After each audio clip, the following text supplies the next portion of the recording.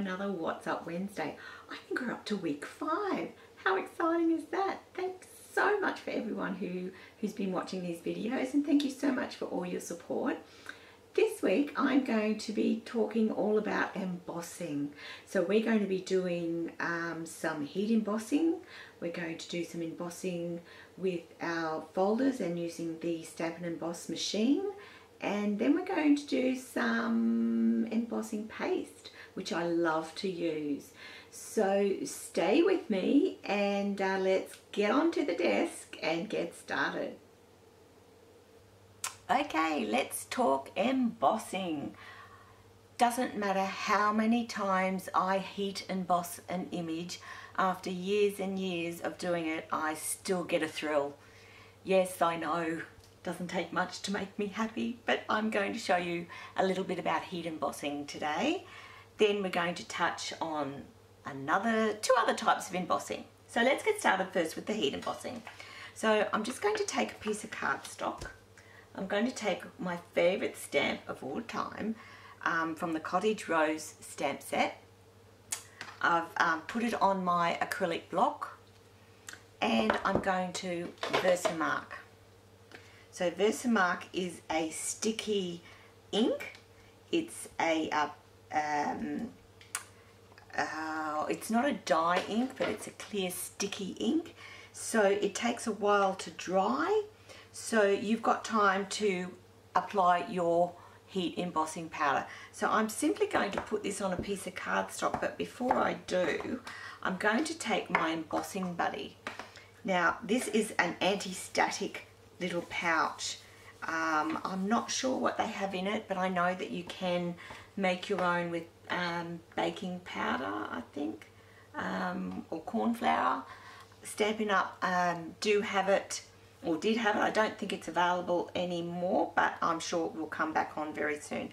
So now, I've, that anti-static powder, or that embossing buddy that I've just rubbed across that. That's taking away any little grease marks where I've touched it.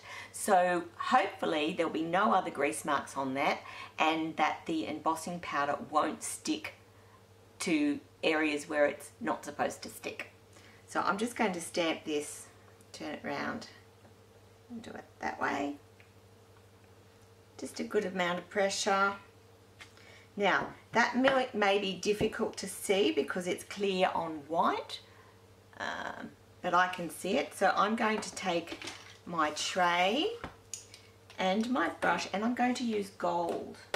So what I do when I get my little bottles of um, embossing powder, I empty them into a little plastic container and these little spoons I actually got when I was on a flight somewhere. Um, and so I keep an eye out for any little spoons, takeaway shops or anything like that. They'll be hard to come by now because we're doing away with plastics, but these are ideal for, for what I need it. So um, I'm just going to sprinkle a generous amount on that.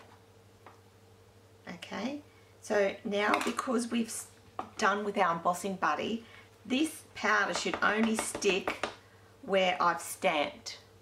Okay, I do see I've got a couple of little specks there so I just use my brush to brush them away. All right.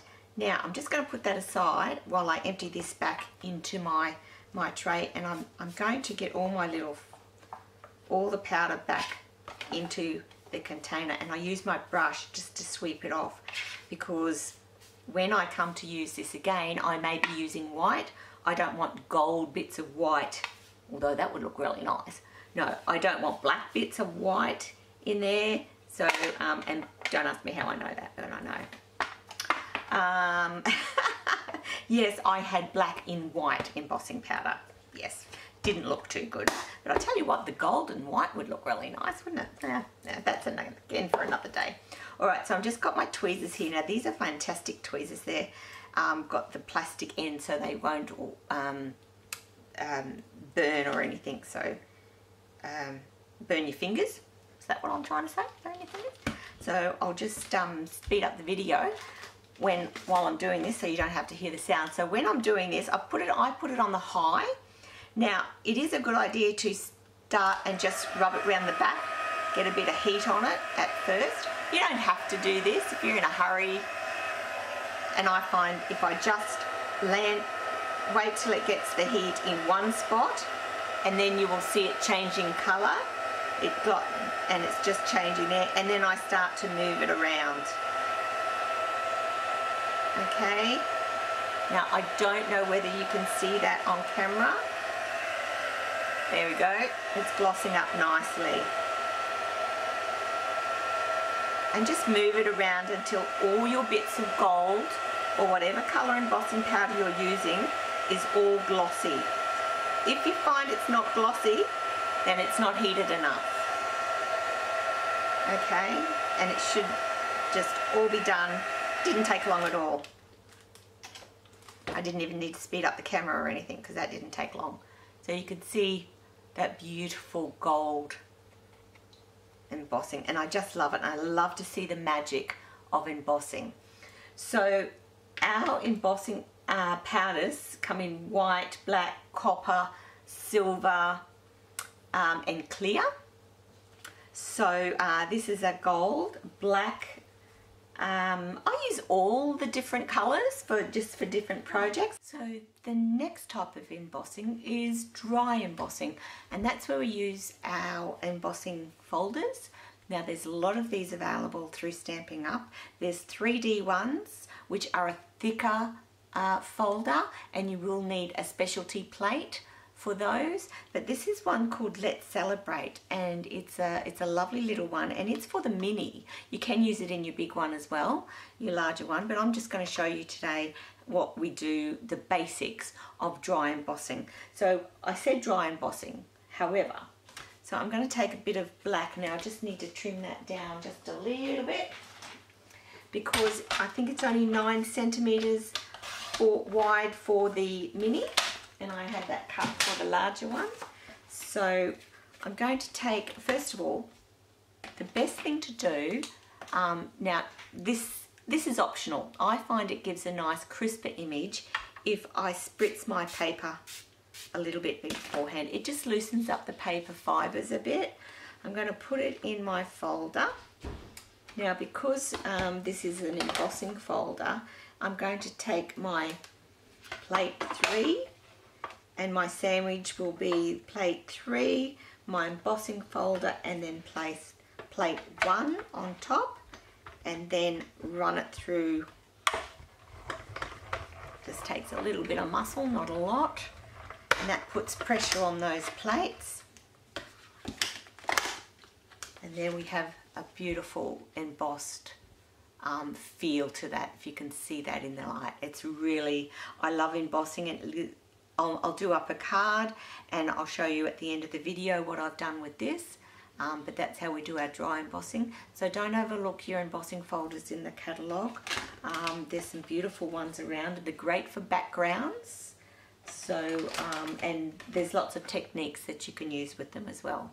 So that's our dry embossing. The third and final type of embossing I'm going to show you is one of my favourites. And it's using our embossing paste which I just love. I honestly really do love this technique. I'm also using one of our decorative masks. Now there's a few of these available. I would encourage anyone to get any of these. They are fantastic for doing um, even just um, brushing on inks onto your background. But I'm going to use it today to show you how to do um, some embossing. So I've got a bit of cardstock. Now this one's measuring 10 by 14.3 because that's going to be my card front. I'm not going to um, mount it all at anything because this particular um, technique doesn't need anything in the background. Now I will just put a bit of my, uh, I've got a bit of used grid paper here I'm going to put underneath just to protect my workbench. Um, then I have some peel and stick which I'm going to use and just to um, stick that down. You can use masking tape, washi tape, whatever you want. Um, this is just some peel and stick that I have. And I'm just going to, probably a bit of overkill here, but um, I don't want a lot.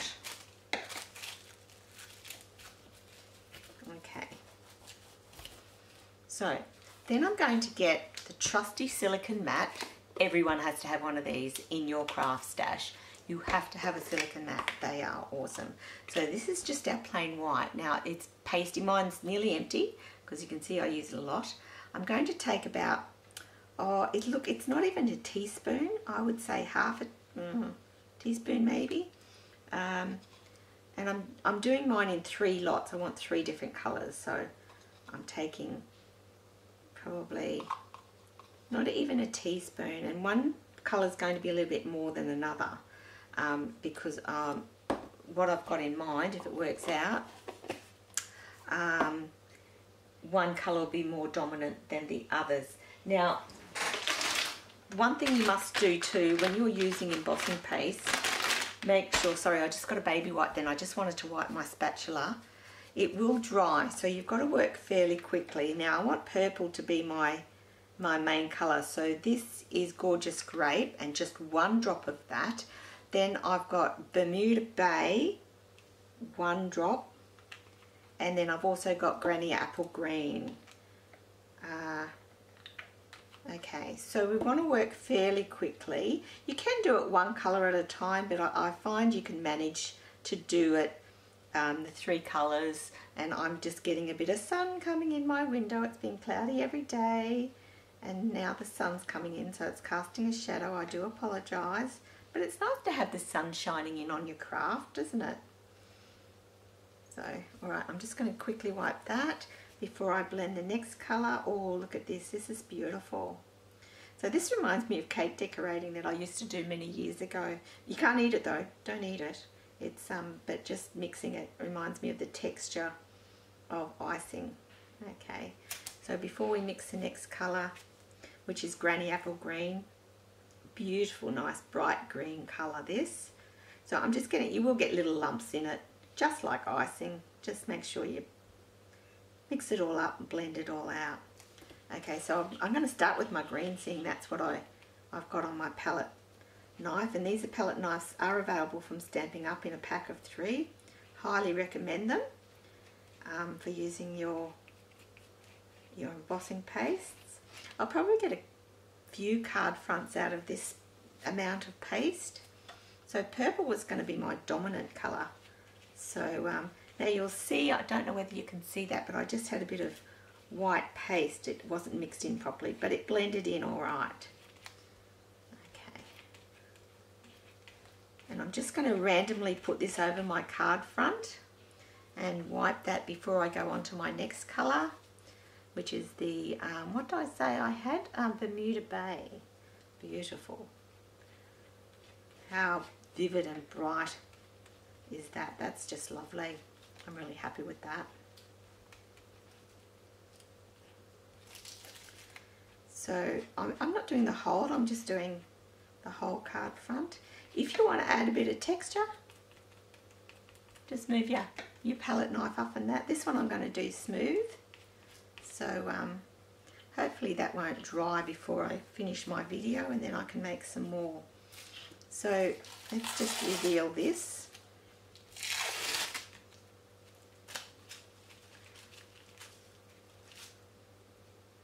Ta-da! That's really cool. Love that. They're really nice bright colours. So that's embossing paste. I'm going to go ahead and make a card with that, which I will share with you at the end of the video. So I hope you've enjoyed today's um, embossing video. I've certainly had a lot of fun doing it. Lots of messy hands and that too. So uh, I hope, I hope you give it a go and love to see what you do. Um, don't forget to visit my blog site at wynningcreations.thesearemystamps.com and if you've got any questions, any queries, please don't hesitate to send me a, an email or um, message me on Facebook. Until next week, have a great time.